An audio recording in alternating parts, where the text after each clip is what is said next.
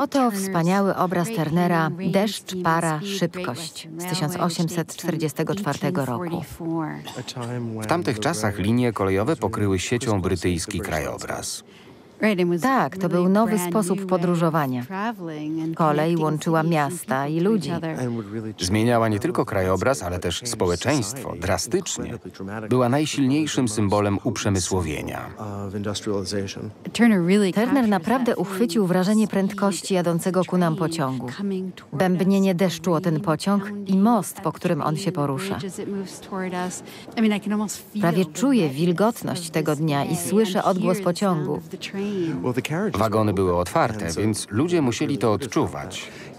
Pomyślmy o znaczeniu szybkości. Oczywiście w 1844 roku pociągi nie jeździły tak szybko jak teraz, ale pomyślmy z jaką prędkością podróżowano do tamtej pory. Ludzie chodzili na piechotę lub jeździli konno. Szczęścia, że w powozach z kilkoma końmi jechali odrobinę szybciej. Z prędkością może 25 km na godzinę. Kolej była pierwszym mechanicznym środkiem transportu. Trudno nam jest pojąć radykalność kolei.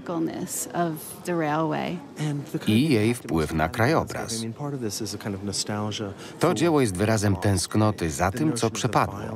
Żelazny potwór gwałtownie rozdzierał krajobraz. Schałasał. Tory biegną chyba przez pola uprawne. W rogu Turner namalował rolnika. W tym pejzażu dostrzegamy kontrast między starą wiejską Anglią, a nową, uprzemysłowioną. Zgadza się. Po lewej stronie widać most, stary, kamienny.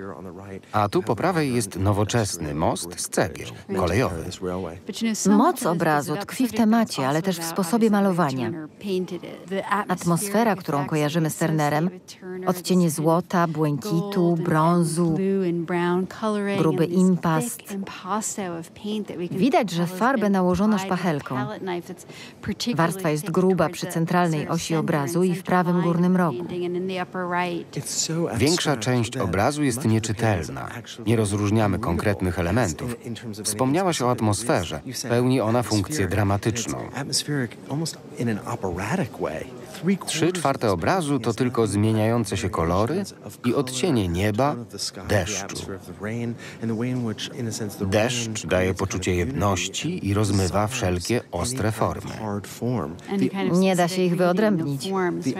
Jedno, co widać wyraźnie, to czarny, żelazny komin pociągu. Tak, tylko komin. Reszta pociągu jest rozmyta. Konfrontacja między przemysłową potęgą człowieka a przyrodą wyraża się tu przez dziwne zestawienie. Pociąg pędzi w stronę królika w prawym dolnym rogu. Królik ucieka jak najszybciej, a przecież jest symbolem szybkości. Sam sposób malowania przekazuje nam więcej niż tematyka obrazu. Ważniejsze są tekstury i barwy.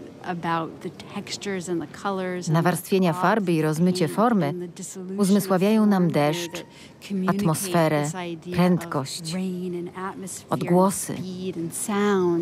Przy innej technice malarskiej inny byłby też przekaz. Obraz dotyczy uprzemysłowienia i tej potężnej nowości, pociągu. Ale też chodzi o sam akt malowania, o sportretowanie tej subtelnej i skomplikowanej relacji między przyrodą a człowiekiem. Turner doskonale sobie radził z odcieniami i formami. Jego abstrakcyjność jest śmiała, jak na ten okres. Tak, pod wieloma względami to abstrakcja dwudziestowieczna.